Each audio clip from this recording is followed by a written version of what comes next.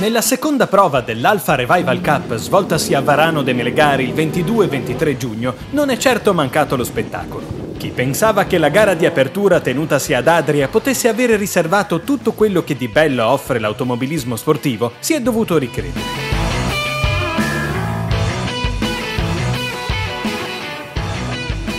Roberto Arnaldi con la GT AM, Giacomo Corbellini con la Giulia GT Veloce e nella prima mezz'ora il duo formato da Massimo Guerra e Franco Mischis con la Giulia Sprint GTA si sono scambiati le posizioni ogni giro.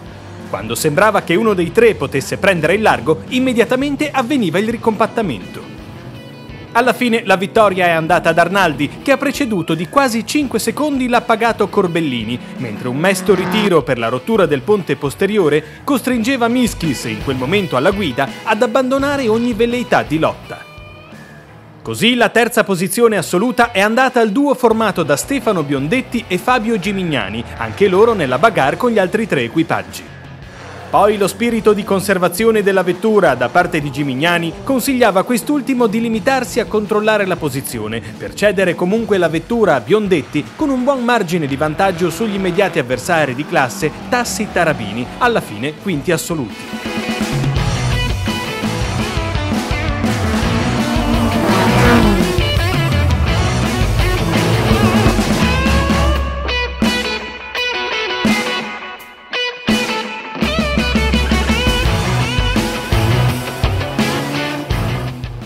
Tra le vetture più ammirate, certamente la Giulia GT veloce di Walter e Massimiliano Marelli, nei colori originali del preparatore Monzeglio. Felice debutto nell'Alfa Revival Cup quello di Andrea Guarino e Federico Buratti, noti per essere impegnati nel challenge Formule Storiche, che con la Giulia T si sono imposti nella classe precedendo un altro duo formato da piloti solitamente di monoposto, quello di Francesco Liberatore e Francesco Zadotti.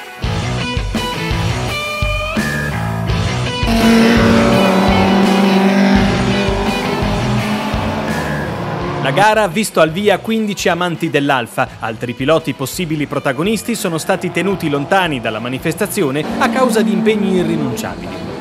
Per il vincitore il fine settimana era iniziato con la rottura della leva del cambio e in gara è venuta a mancare la seconda marcia. La capacità di guida degli avversari, Corbellini e Guerra, hanno contribuito a rendere ancora più dura la gara di Arnaldi.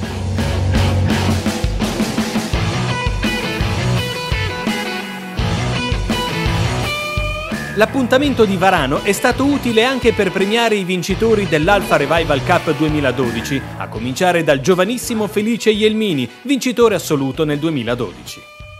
Un riconoscimento particolare è stato assegnato alla scuderia Biondetti di Firenze, che con i suoi piloti ha creduto fin da subito alla proposta della GPS Classic, una proposta che raccoglie indubbiamente consensi.